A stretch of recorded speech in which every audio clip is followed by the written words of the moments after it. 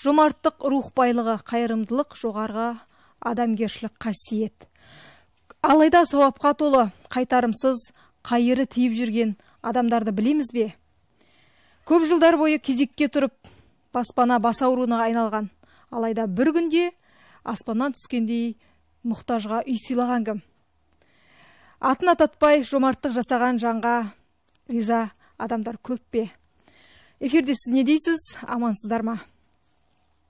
Алдымен студия қонақтарына ә, дайындалған бейне сюжетті көрсетіп алайық. Содан кейін хабарымызды бастаймыз.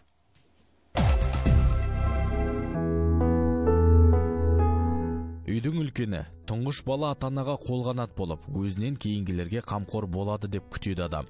Бірақ жеті айлық гүлшат әбиеваның бұл аналық үміті ақталмады. Тұла бойы тұңғышы жеті жасында аса ауыр ауруға шалдықты. Қызым оқуға бармады ғой жеті жастан ауырып сонда сабақ болмаса екен деп тілейтін едім бірінші сентябрь себебі маған қатты ауыр тиетін еді енді артынан балаларым өскеннен кейін конечно оны ұмытып кетесің ғой сабаққа бар сабаққа барғаным дедім бітіріп жатқанда қатарларын бітіріп жатқанда тағы күйетін едім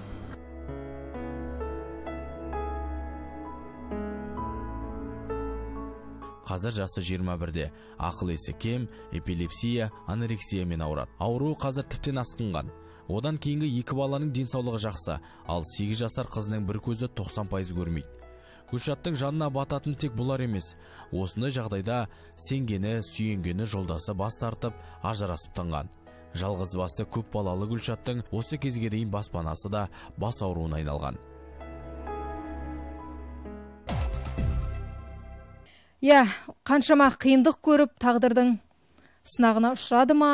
Енді осының барлығын көтеріп жүрген біз гүлшатты жаңа сюжеттен көрген қарсы алайық гүлшат әбиева. Келіңіз. Сау қош келдіңіздер гүлшат. Қалыңыз қалай? сау болыңыз. Қызыңызбен келдіңіз? иә. Студияға шақырған қуандыңыз ба гүлшат? Иә қуаныштымын. Жұмыста болатынмын негізі. Иә жұмыста едіңіз иә? жұмыста. Кпс деген мекемеде еден жұмысшы болып жасаймын. Еден жуушы. Иә техничка болып. Сол айлық жақсы ма? Айлығымыз болады елу алпыс мыңдай. Төрт баланы бағаласыз ба? Бағамыз енді. Аз ба? Жарайды. Жарайды. Иә. Иә жарайды. Сіздің жаңа біз айтып кеттік сюжетте екі балаңыз. Иә мүгедектігі бар. А, үлкен қызым жеті жасынан бастап ауырды. Көзін жұмып ашпай қызулап. Содан апармаған жерім жоқ. Ә, ол кезде сөйлейтін еді енді ол. Сөйлеуден де қалды. Қазір тек қана жатыр. Кейде қатты приступ ұстап ә, қатты не істеген күндері больницаға апарамын ә, ешқандай нәтиже жоқ деп айтты маған. «Ә, үйде ұстайсың. ә, ауырғанда қатты ауырады ә, шприц екілік шприцпен тамақ берген күндерім де болды қызыма. Сол есім білмейді осы қыздар бағады. Ә, ол дәрет не несіне де бара алмайды в общем мына подгузникпен қолданады. Одан кейін енді ол қызбен арпалысып не істеп жүргенде екінші қызым пайда болды ол енді жақсы сабағын оқиды сол қарайды екен иә апасы иә сол он үш жастағы қызым қазір сол қарап отыр. Одан кейін енді мына қыз дүниеге келді екі мың тоғызда. Ол кішкене жақсы болып не істеп сабаққа енді барып нулевойға сөйтіп бірінші класс екінші классында үйдегі аналим бірдеңені жұмсасам басқа зат алып береді сөйтеді. Сосын садик ә, сабақтағы апайлары қызыңыз отличница жақсы оқиды бірақ басқа заттарды жазады мүлдем деп сөйтеді. Сосын дәрігерге апарып көріңізші деп содан шакөрге алып келгенмін. Шакөрге алып келсем бес алты зат көрсетудің орнына ешқай қайсысын білмейді да короче ештеңені не істеп білмейді. Бір көзі сонда айтты маған тоқсан пайызға Көзі көрмейді? иә бір көзі көрмейді деп. Одан жақында пойыз пойыз келеді ғой бізге. Жетібайға пойыз келген. Соған апарғанмын. Уже кішкене жақсы болып қалар деп. Э, ол кезде де апарғанда да тоже сондай болды. Ештеңе көрмеді төрт балаңыз бар иә? Иә. Ең үлкен тұңғышыңыз мына ауыратын қызыңыз Иә. өмірге келгенде нешеде едіңіз? Ол кезде он тоғыз жиырмада. Он тоғыз жиырмада Иә. тұңғышыңыз. Тұңғышым иә. Иә қазір жатыр. Қазір жатыр. Енді сізді қинағаны сол ауру баланы алып Иә. жүргенде үйіңіз болмады иә? Үйім болмады иә. Біз негізі мен негізі көшіп келгенмін түркменстаннан сол кезде бармаған жерім жоқ. Мен кезекке тұрдым. Кезекке жетібайға э, кентіне тұрдым бірінші. Олар қарақия ауданы жіберді құрыққа. Құрықта не газетке де шықтым. Газет үй береміз деп иә тізімге де шықтым. Үй береміз деп үйді енді берейін деп жатқанда екі жылым 2007-де алып қарады документімді қарады да мынау деген ә, тұрғылықты жеріңе үйді береміз тұрғылықты жеріңе қайтадан тұру керексің деді. Сол кезде манағы тұрған кезегімнің бәрі алынып тастап қайтадан кезекке тұрғанда бая тоқсан ба жүз ба болып тұрдым. Жетібай кентінде. Қай жылы? Ә, ол 2007 дедім ғой. 2007-де сонда 90 кезек болып тұрдым. Кезекте содан қайт, күнде барам әкімге жылап күнде барам. Енді соңғы кезде тіпті не істеп кеттім? Жаңағы отбасылық не болды жағдайым болмай сосын әкімге осы жақында аудан әкімінің кезегіне бардым. Ол кезде де жұмыста тұр едім вахтада сосын апайыма айттым осындай осындай айына бір рет кезегі болады екен беков деген мырза әкім.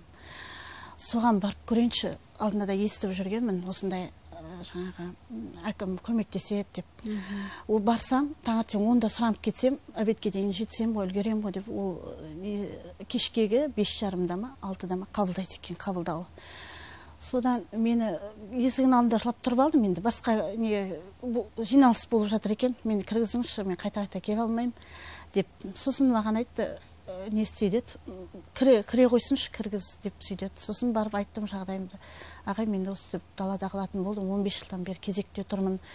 Үйім жоқ. Біреу кезек не уақытша тұрайын десем де ана қызымның жағдайына қарап ешкім алғысы келмейді сөздің шыны керек. Үй жалдамай ма сонда сізге? Жалдағанда қызымның несін уже көреді төсекте жатыр.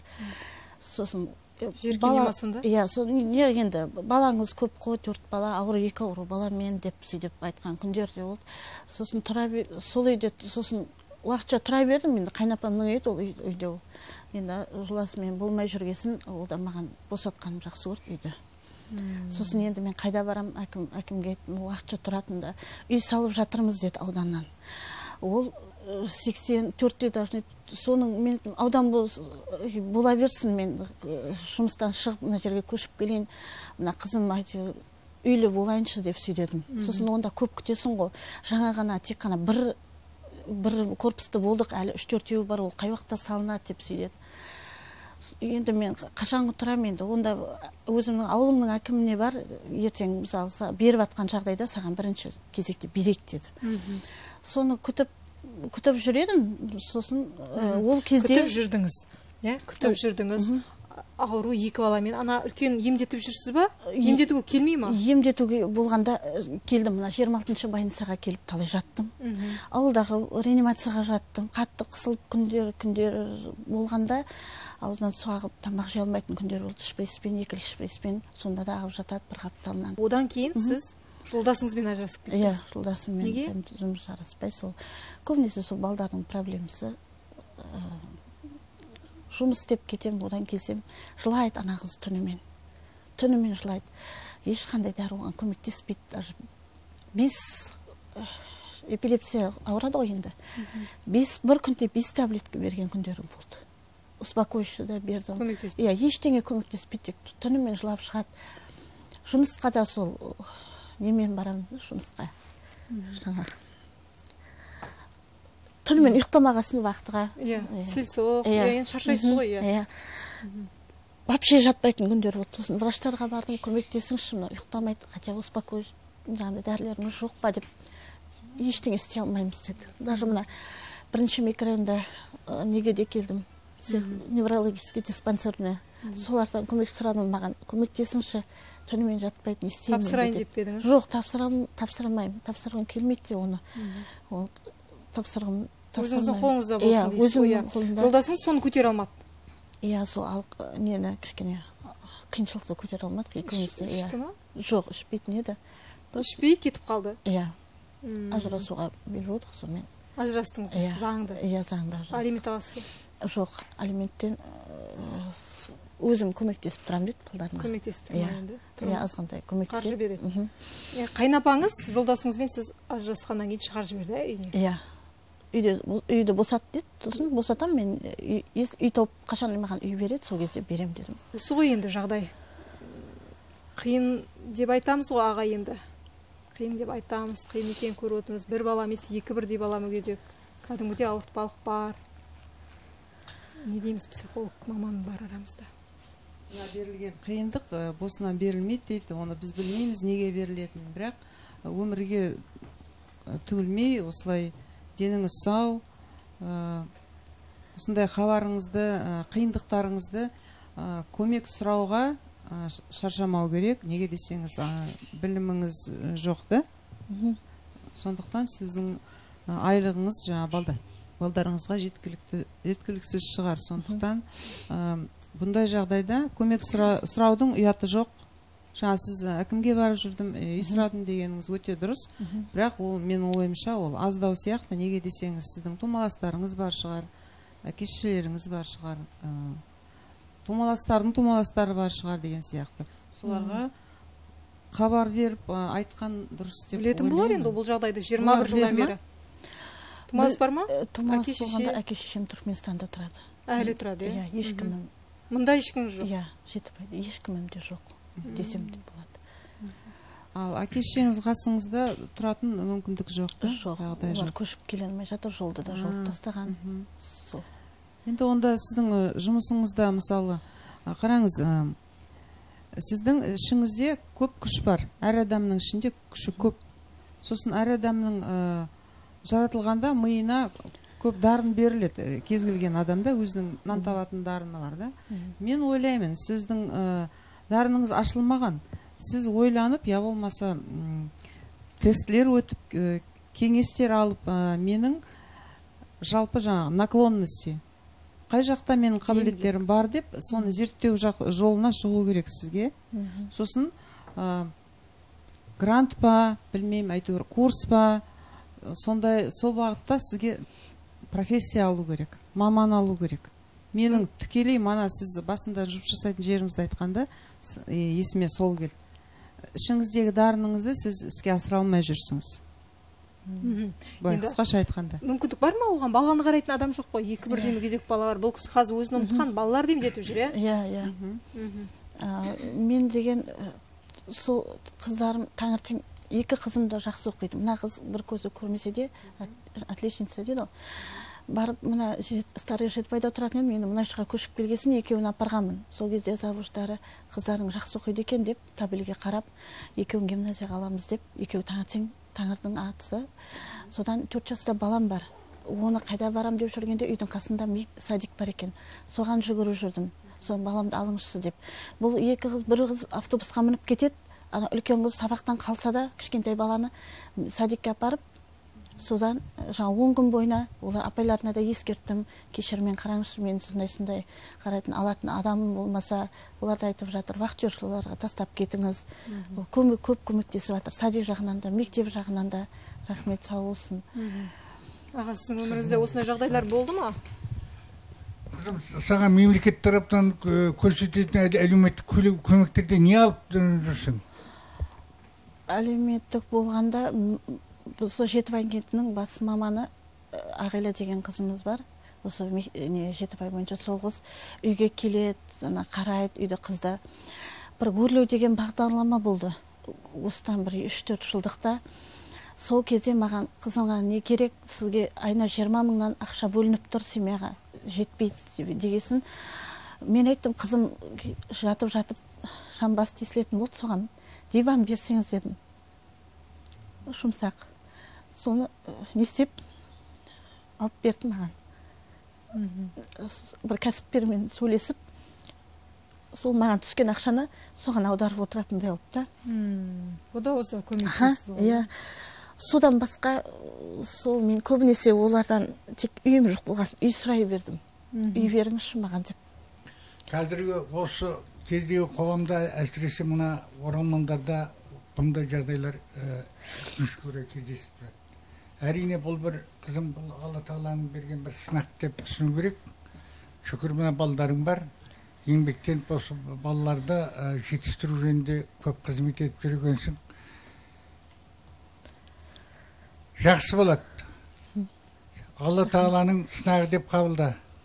Ә, жақсылық күн туады деп ілгері оптимистік пікірде бол енді мемлекет бұндай семьяларға қоғамдық көмектер береді мемлекеттен берілетін жәрдемдер бар балаларға төленетін жәрдемақылар бар ана мүгедек балаларға төленетін соның барлық заңды түрде ана документтерін жинап ана қазіргі кезде әлеуметтік қызметкерлер бар ә, юристтер бар солардың барлығынан ә, заңды ә, түрде сол мемлекеттің ә, көмегін алу керек. Сосын ә, сені жаңа енді өзіңде ә, қарекет жасап жүрсің ғой. Сол енді ә, әкімдікке барып ә, басқа да сондай ә, басқа да жолдары. Сосын мына біздің меценаттық ә, кәсіпкерлердің осындай ә, азаматтарға осындай қиын жағдайға тап болған адамдарға беретін көмектер бар. Соларға жүгініп сөйтіп қазір бойын тіктеп кетіп жатқан жанұялар өзің сияқты ә, қыз келіншектер бар. Үміт үзбеу керек. Жақсы аға дұрыс айттыңыз. Сіз ә, енді білмейтін шығарсыз бейнесюжетті көріп алайық. Гүлшат екі мүгедек екі сау баласымен әркімнің босағасын жағалап үй кезегінде тұрған мекеменің есігін тоздырып жүргенде күтпеген жомарттан үй алды.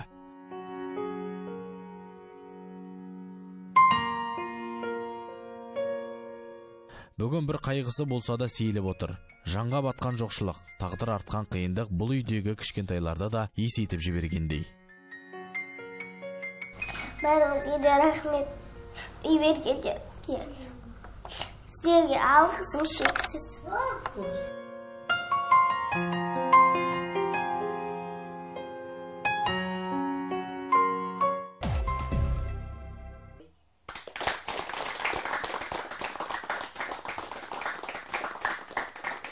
Ай болып қалды. бір айдың төңірегінде ойламаған жерден жұмыста жүрген жерден Иә. кешкісін шақырып алып әкімдікке мына кісі міне үйдің кілтін табыс етті. Айсұлу дүтбаева ойламаған жерден жарқ етті деп келіңіз. Келіңіз біздің алия деген кішкентай батыр қызымыз бар. Тұра ой айсұлу апай тамаша. Деген батыр аты бар ғой. Әдемі болып келіп жатыр екенсіз айсұлу ханым сіз әдемі болып бұл кісінің өміріне енгеніңізді айтайын деп тұрмын. Иә? Айтыңызшы қалай болды? Үй бір күнде ойлаған жоқ. Жұмыс жасап жүр мана полын жуып еденін жуып. Бір кезде айсұлу ханым сіз шақырдыңыз ба? Қалай болды? Соны айтыңызшы түгелдей. Енді бәрі құрбан айттан басталды ғой. Бәріміз қазақпыз бәріміз мұсылманбыз. Құрбан айтта енді өзінің беретін ештеңем жоқ болса да енді ә, қалтасы мол жігіттер бар ғой құдайға шүкір біздің маңғыстауда. Сол кісілерге мен шықтым хатпен шықтым тіпті. Көмектесейік ә, міне осындай ә, шара жасайық ә, немен көмектесе аласыз дегенде бір ә, соққанда бір адам айтты не керек? деді. Сосын менің артымда ештеңе жоқ. Айттым мен осы үй үй жоқ ә, аналарға үй бергім келеді. Неге десеңіз өзім де анамын құдайға шүкір үйім бар. Көп балалы аналарға үй бергім келеді. Үй бере аласыз ба деп сұрадым. Ол кісі ә, үйлері үй беретін жағдайы бар екенін біліп тұрмын ғой. Сосын ол кісі айтты қай жерден берейін деп жатырсың қаладан ба? деп сұрағанда аузыма өзі салып берді де. Оның алдында ә, бәрі де бостан бос емес қой. Оның алдында ә, қадырберді ә, беков деген азаматты бәрдеріңіз де танисыздар. Ол кісі осы ә, әкім болып тағайындалды районға. Ол кісі әкім болып ә, тағайындалғанда біз ә, звондап енді құттықтамаймыз ба құтты болсын дегенде ол кісі сонда рахмет рахмет деп сразу а дегеннен сразу айтты. Сол бірінші күні әкімнен бол, әкім болып басталғаннан айсұлу осы сен ә, ортада көп жүресің ғой осы айтып жүрші менде ә, үй салынып жатқан жоқ ә, үй әлі білмеймін қашан салынатын бірақ маған үй керек ондай адамдар көп. Меценаттар болса сіздер көп меценаттармен жұмыс жасайсыздар ғой. Меценаттарыңыз болып жатса маған үй беретін осы ауылдың ә, мұқтаж адамдарға үй беретін кісілер болса сен біздің ә, районды біліп жүр деді. Есіңде жүрсін деп. Сол енді ана меценатқа соққанда ә, не істей аламыз кім болып жасап жүр айсұлу апай сіз? Онда осы маңғыстауда маңғыстау облысының өңірлік коммуникация қызметінде басшы болып жасап жүрдім. Енді орысша айтқанда региональная служба коммуникации дейді әкімшіліктің қасында. Сонда енді қоғаммен жұмыс жасаймыз әкімшілікпен жұмыс жасаймыз меценаттармен жұмыс жасаймыз бүкіл елмен жұмыс жасаймыз. Сонда қазір әлеуметтік ә, социальный сети ә, фейсбук бар инстаграм бар мода ғой қазір иә. Сол ә, сол жерде көп отырамыз. Енді жұмысымыз да сол бір жағынан ә, бір елу қырық процент жұмысымыз солда шығар ә, сол ә, орысша айтқанда ә, мониторинг социальных сетей дейді ғой. Иә. сонда ә, қарап отырасың жазып жатады адамдар маған көмектесіңізші маған көмектесіңізші деп. Ол мысалы енді мен оны прям көмектесейін деп көмектескен жоқпын. Бір өзі бір алла тағаланың беретін бір сәті болады. Сол ә, құрбан айтта маған сонда бір ой келді. Не істей аламын мен? Ә, не, не істей алсам екен? Мына жақта енді ә, жалпақ тілмен айтқанда бай достарым бар мына жақта ә, жылап жатқан аналар бар мүгедек балалар бар. Күнде күнде мына кісі мысалы күнде жылап жүр. Ол кісіге біздің ақтау гүлденіп жатыр ма жол салынып жатыр ма? Бұл кісіге бәрібір. Бұл деген екі инвалид баласымен иә. иә бұл екі баласымен инвалидмен жылап жүрген ана. Бір баласы ә, сонда ә, беков мырзаға сосын соқтым. Менде сіздердің районнан ә, осылай квартира беретін жағдайым бар. Екі бөлмелі квартира. Ана меценат ә, берем деп отыр. Ол кісі айтты менің атымда айтушы болма. Ә, бес рет намазын оқитын адам иман жолында жүрген адам.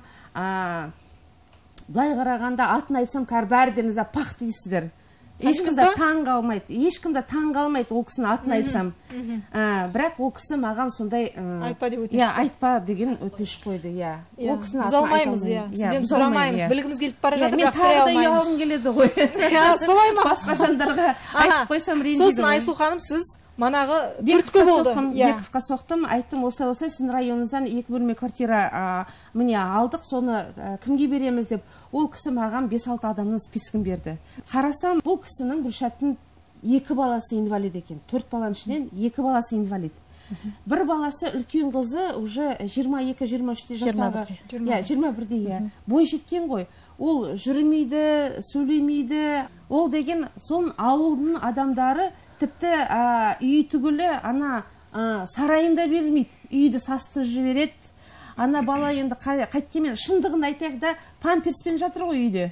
Памперспен иә. Ол үйді сасытады үйді былықтырады. Солай ғой иә. Сол ақшасына да иә, жиіркенеді иә. Иә. ақшасына да бермеген ғой гүлшатқа арендаға. Сосын ойладым өз үйі болсын гүлшаттың осы гүлшатқа берейін дедім. Осындай жағдайда жүрген адам маған сол сол қиын жүрегіме қиын болды да. Қиын түсті ана жатқан балаға үй бермейді тіпті ақшасына арендаға деп. Маған бәрібір қайдан келсін деп. Онда көп сын естідім. Мхм. Гүлшат қандай Иә. күйде болдыңыз үй алған кезде? Мен жұмыстамын вахтада жүрмін. бір кезде сағат үш төрттерде соғады телефон. Акиматтамын дейді аты жөнін айтпайды. Просто жағдайың қалай ә, жұмысың ә, жұмысты сұрады үйде балаға инвалид аласың ба алам. Сол ақша жөнінде сұрады сосын үйімді сұрады квартплатаны қанша төлеп отырсың соның бәрін айттым. Сосын маған жағдайды сұрай бергесін мен ашуланғасын айқайлап тастадым мен сөздің шыны керек. Мені жағдай сұрамай мен- үйімді білесіңдер акиматтан сұраңыз үйді білесіздер. Барып қараңызшы қыз, қызды барып қараңыз. Қандай күйде жатқанын мен жұмыста жүрмін қараусыз жатыр қазір балдар сабақта деп та сосын бір кезде бес алтыларда тағы телефон соғады. Біз акимат тағы да акиматтамын деп. Сосын «Э, енді неге қайта қайта соға бересіз бір минутке келіп кетесіз ба? Бес минутке деді то есть. Қайда барам? Әкімге келіп кетсеңіз жетібайдың әкіміне бес минутке ғана келіп кетсеңіз мен айттым жұмыстан жібермейді мен жеті сегізде шығамын жұмыстан. Десем сосын жоқ өзіміз сұраймыз бастықтан дейді. Сосын телефонды бер деді телефонды естіртіп тұрдым. Сосын «Ә, бастық айтты қой ба- бара бер сағат алты болып қалды барып кел не дейді жақсы жаңалық болар деп сөйдеді олар да біледі ғой енді жұмыстан жіберіп отырған бастықтарымыз. Анда қайта қайта кезекке барып отырмын аудан әкімінің кезегіне үй сұрап. Содан барсам бардым қызыма сен келе бер пока документ сұрап қалар деп отырмын мен үйдің документін или жаңағы үйреніп документпен барып Иә. әкімдіктен мына қызды үлкен қызға сен қызды қарай бер мына кішкентай қызға сен документті алып келе бер. Мен дайын отырайын күтіп деп. бір кезде айсұлу апамыз түсіп келе, келе жатыр. Камерасымен несімен онда да сенген жоқпын. Енді кім маған бір екі сағаттың ішінде телефонмен жаңа звондаған бойы үй береміз деп айтқан жоқ маған. Тек келіп кетіңіз деді сөйлесейін деп келген шығар деп сосын әкем кірдіп зам әкім бар екен сол жақта қыздарды шақырдық. Бір кезде сізге екі бөлмелі үй береміз деді апай. Содан жаңа қуанып не істеймін енді жылағаннан басқа. Көз қуаныштың көз жасы ғой. Неше жылдан бері күткен. Сөйтіп қуанып не істеп қалдым. Рахмет. Ә, берген ағай да айтпасын депті меценат берген ағай деп қойсыз апай емес па? Жақсы ағай дейік. иә. ағай келіп қалса не айтар едіңіз? Берген ағай ғой енді берген Иә, айсұлу апа ортадағы дәнекер. Не қандай тілек айтқан болар едіңіз? Ә, алғысым шексіз дер едім бас иер едім сондай. Мен сияқты қаншама ана- аналар бар. Үй кезегіне жете алмай отыр мысалы. Менің өзім жете алған жоқпын. Әлі маған алдыңда жиырма адам бар дейді үй салған азар дейді тек қана екі инвалид баладан беріп тұрады ғой бюджетниктерге береді жалғыз мен емес қой. Сонда мен тағы да неше жыл күтемін дедім. Ана қыз жатыр дедім да. Енді сөздің шыны керек. Қатты сөзбен айтқанда соны өлген берейін деп отырсыз ба дедім. Себебі ана тіпті жатыр да уже. Басқа амалым жоқ иә. Сөйлеп айттым. Бұрын сенетін бе едіңіз? Осы біреулер біреулерге жәрдемдеседі көмектеседі дегенге біреулерге беріп жатыр деп телевизорде арасында көремін ғой. Басқа жақта беріп иә жатыр. иә. Содан маған қашан берер екен деп отыратын едім. Бір кезде менде былай ой болып ә, жаңағы маған да осындай қылып берсе деп та. Енді Ой кезегім әлі әлі кезегім көп қой енді менің. Бірінші тоқсан болдым одан алпысқа түстім одан отыз сегіз болдым одан жиырма болып тұр едім. Енді әкім де айтты ғой енді қай уақытта үй салынады жетібайдан вообще салынбайды құр- не ана ералы ауданынан салынады деп та. Соны күттім енді к- күтемін дедім. Неше жыл болса да күтемін. Жалпы осындай жомарт адамдар көп па біздің қоғамдағы? Елімізде қазақстанда имандылығы мол жомарт өзінің еңбегімен кәсіпкерлік салада еңбек етіп жүрген жомарт адамдар бар. Және олардың бірқатары көпшілігі осындай әлеуметтік жағдайы төмен адамдарға көмек беріп пәтер пәтер болмаса басқа да күнелтісі жағдайын жасап өйстіп сол ә, төңірекке өзінің шапағат нұрымен қуантып жүрген адамдар кездеседі. Оған біз қанағаттанып алла разы болсын деп біз марқайып бұл азаматтардың денсаулығын тілеп оларға қошемет білдіреміз. Бар. Бір сөзбен айтқанда ондай адамдар елімізде қазақстанда бар дейді. Ал енді бар екен көпшілігі көрсетіп беріп жатады иә бәленше шөленше деп. Мына оң қолының бергенін сол қолына білдіртпей жатқан да адамдар кездесіп жатыр ма өмірде сізге? Бұрынырақта бұрын осы кезде енді сиректеу естимін және қазіргі кезде соның біреуіне мен куәгер болып отырмын ғой. Бұл бір иманы мол өзінің жасаған жақсылықтарын ә, оны міндетсінбей ә, сөйтіп жүрген бір азамат жігіт екен. Міне қайырымдылық дейтін міне осындай болу керек. Қайырымдылық деген ең үлкен осы мына менің қызыма гүлшат қызыма жасаған қайырымдылық деп мен есептеймін ә, енді ол кісіге алла тағаланың берері көп бола берсін. Ә, тек қана гүлшаттың өзі қуанып отқан жоқ бәріміз де анамыз осы жерде отқан оның бәрін жағдай түсініп отырық. Енді бәріміз де қуаныштымыз. Ә, қоғамда осындай адамдар көбейе берсін. Ол кісі тек қана өзінің ғана жетістіктерін жетістіктерге жетіп қоймай айналасындағы адамдарға көмектесіп соған көмектесіп жатқан адам ғой. Енді гүлшаттың өзі де оймен барынша шақырып армандап армандар орындалады деп айтып жатады ғой. Гүлшаттың орында- орындалған арманының біреуі екен. Енді қызы да аман есен сауығып кетсін өмірде ғажайыптардың бар болатынына сене керек иә Иә. сенуіміз керек деп ойлаймын. Көп адамдарды тыңдап жүрем а, өмірде жазылмайды деген аурулардың өзі жазылып жатады. Сіз соған сенесіз ба қызыңыздың бір күндері жазылатынына жақсы болып кететініне? Бар аналық жүрегіңізбен. Ә, енді бір күндері қызыңыздың да жазылғанына куә болайық. Иә рахмет. Сенсеңіз ә, жалпы жазылмайды деген аурулардың өздері жазылып кетіп жатқаны туралы көп естиміз. Енді ол жағынан да ізденсеңіз. Маманнан сұрайық. Мхм. Жазылмайды деген аурулардың жазылып кеткендері көп па гүлсара ханым? Көп. Жаңа сіз айтып отқан жаңа армандап жүр телевизордан көргенде маған да үй түссе екен деп айттыңыз. Сол кезде ой мынандай ой келді. А, мақсатта а, арманның бәрі орындалады екен көбі орындалады. Егер ол шынайы керек болса адам тұлғасына онда ол беріледі. Жаңағы форточкадан де құдай берейін десе береді дейді. Ғой вот сол адамның арманы ә, негізіне шыны, шынайы керек арман орындалады. Сонымен бірге а, жазылмайтын ауру болмайды екен. Оның әртүрлі себептері бар бірақ ә, аналы, аналарға үлкен ә, мынандай қуат берілген. Ә, ананың сенімі ә, болмайтын жағдай болмайтын сияқты жағдайдан баланы шығарып алатын біздің күшіміз бар екен. Ананың жүрегінің сезімі. Сондықтан балдарыңыз жазылады деп сенім, сенімді болыңыз. Ә, сосын олардың сау болып жүргенін елестетіп көріп жүрсеңіз көресіңіз тұрып бастайды я болмаса өзінің тамағын жеп бастайды деген сияқты. Айтып отқан ә, жаңа айтқаныңыз дұрыс. Оны сіздің өзіңіздің көрінісіңізбен көзіңізбен көріп ішкі дүниеңізді да көрініс видео ұқсатып. Сөйтіп ә, әр балаңызды сау болып я болмаса дастарханда отырып бірге шай ішіп отырған әр, әр адам өз балдарыңыз қозғалып отқан. Сіз күнде хотя бы бір рет болса да жаттығу жасап елестетсеңіз сосын жібере қойыңыз ұмыта қойыңыз. Сосын күнделікті тіршілігіңізді жасай беріңіз.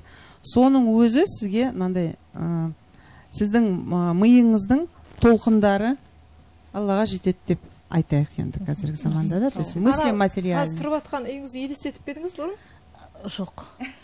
Енді ол шынайы бірақ білмеймін бірақ шынайы маған керек арман болса онда сол орындалады жаңағы. Тосыннан орындалады жаңағы көріп отырсыңыз әлі күнге дейін сенбеймін ғой мынау менің үйім ба? Құжаттар реттелді ғой? Иә реттелді. Реттелді. Реттелді. дүние мүлік жиналды ма ішіне? Оған көмек көрсетіп жатқандар бар ма айсұлу ханым? Онда оған көмектесемін деген адамдар болды. Бірақ көмек әлі әлі жоқ. Әлі жоқ иә. Сосын бірақ жазып жатыр адамдар. Біздің халық кең ғой. Бірақ бәрі жазып жатыр. Не керек мүмкін төсек керек шығар ыдыс аяқ керек шығар киім керек па тамақ керек па?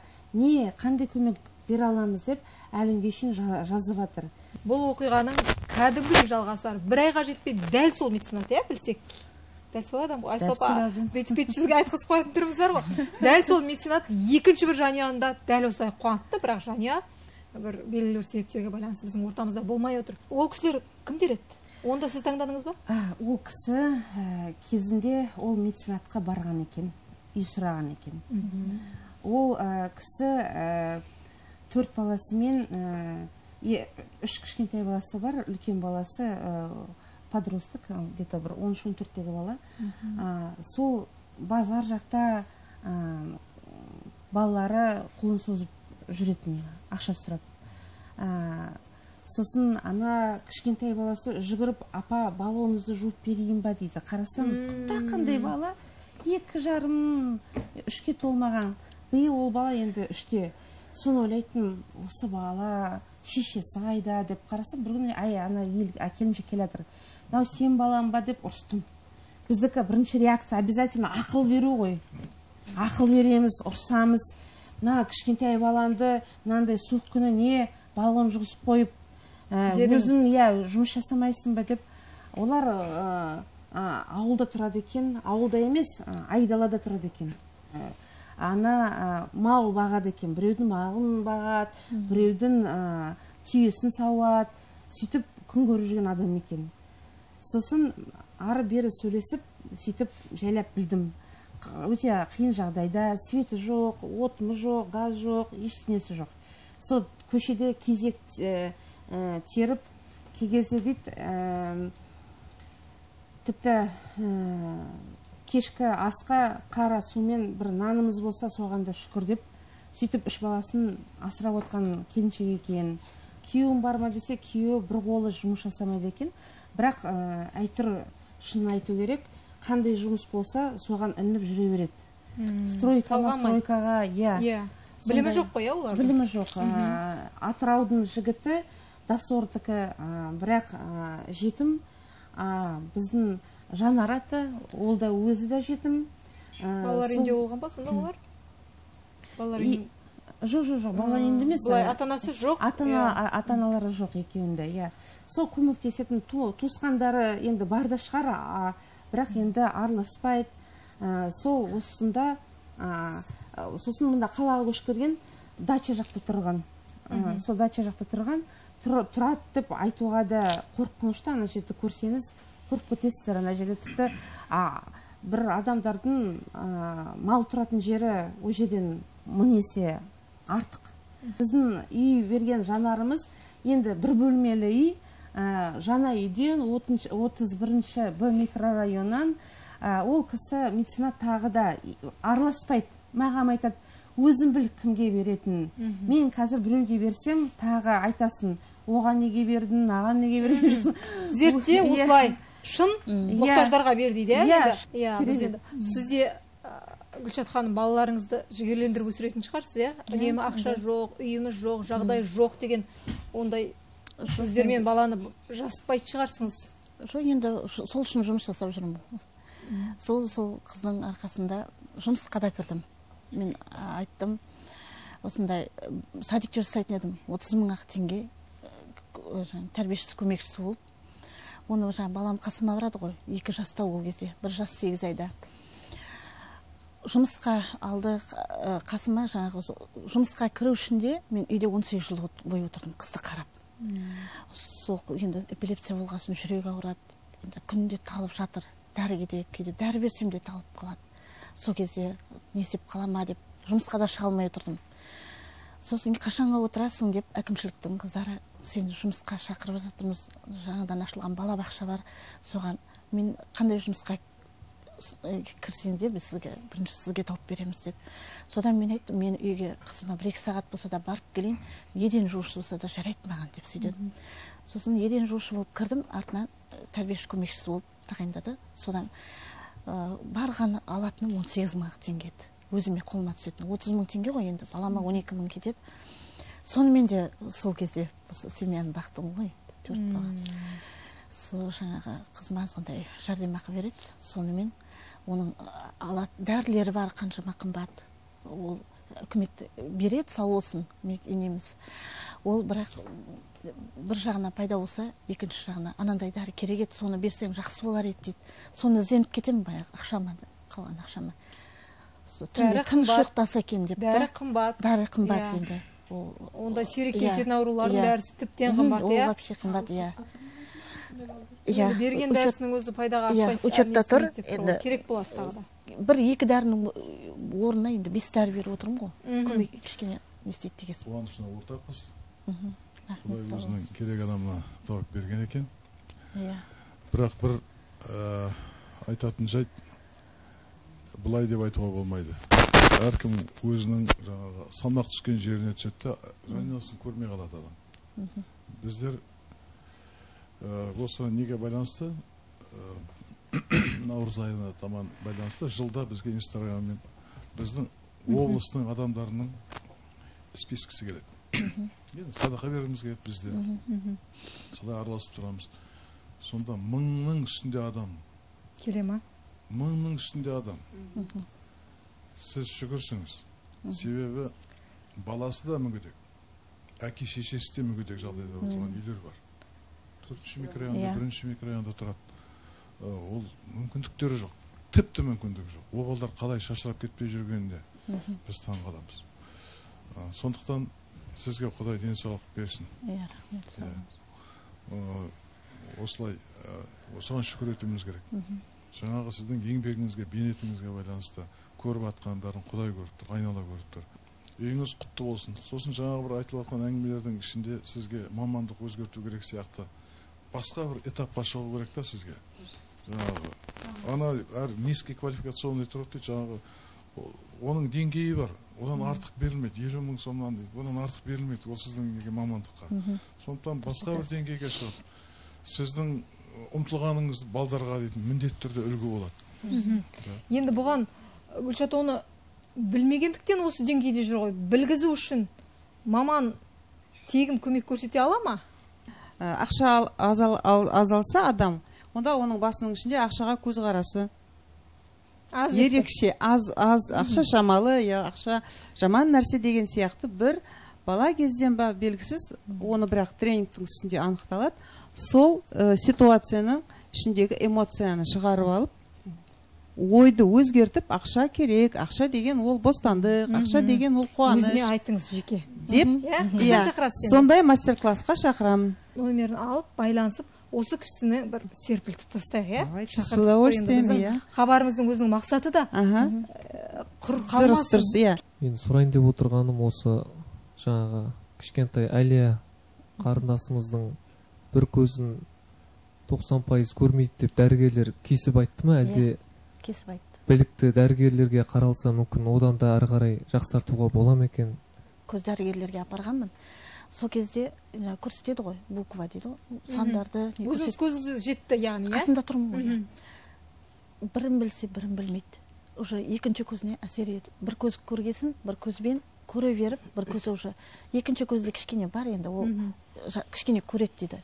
Ал енді күні кеше жақында пойыз келеді ғой денсаулық пойызы. Сол келгенде оған да тағы апардым. Енді алматыдан келеді ғой енді иә астанадан иә. иә. Апай қанша не алдыңыз енді суық қой енді балдарыңыз бара алмасаңыз келесі жылдан қалдырмай келіңізші деп сөйтеді. Сосын мен айттым қаражатым не, істемейді мен қалай барамын дегенде олар айтты «Э, жаңағы компьютерге тіркеледі ғой жаңағы кезек иә квота жөнінде болса да келіңізші тездетіп ана келдіңіз ба енді? жоқ бір енді вахтада жүрмін ғой. Енді кеше келген пойызда енді азған сәл ғана бір көзінде сәл ғана үміт бар. Ертеңгі күні енді ертеңгі күні бұл қыз өседі ғой. Маған айтады ғой мама бір көзім қайда? деп. Иә сол сұрақты береді ғой деп. Күнде сол сұрақ мені мазалайды енді.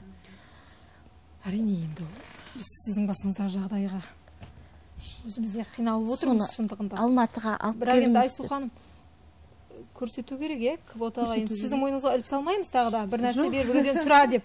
Бірақ тағы да бір аздап көтеріп жібереміз ғой иә менің ә, басында бір осындай бір қиыншылық деймін.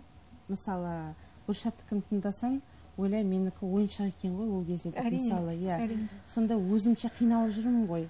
Гүлшатқа ә, қалай жүрегім ауырады ә, үйдегі анда жатқан жанарым бар еще төрт баласымен ол деген бірақ айтайын дегенім жанарым да менің гүлшатым да. Бәрібір осылай қарағанда ә, сондай бір өзім қошым келеді да. Екеуі де сондай позитивный адамдар да. Қазір гүлшат былай мына жерде жылап отыр. Бірақ ар жағында мықты ғой. гүлшат мықты позитивный. Иә мықтылығын көріп отырмыз ғой. Иә мынау кажеке жарасып қалды. Рахмет сізге. Айсу ханым құр келмей. Осындай сыйлық алып келіпсіз. Иә өмір деген осы ғой енді. Біреуде қиындық бар ә, жаңағы бүтін адам жоқ барлығы. Дегенмен тырысу керек ә, жақсы болатынына сену керек. Оны жеңу керек. Солай ма аға сіздердің көзінше ақылды айта алмаймыз өзі олай болса хабарымызды аяқтаймыз. Ешкімнің мәжбүрлеуінсіз жақсылық жасайтын адамдардың бар екеніне күмән жоқ еді. Бүгінгі хабар одан сайын дәлелдей түсті. Жасырын қалуда өте бір жақсы әдет болса керек. Ә, дабыраға дақпыртқа жол бермей. Көргендеріңіз сіз не дейсіз? Хабар болды. Ә, басына қиындық түскен бірақ тосыннан осындай қуанышқа кенелген отбасына сіз не дейсіңіз дедік. Жауабын алдық көрерменге жолдадық. Аман болыңыздар.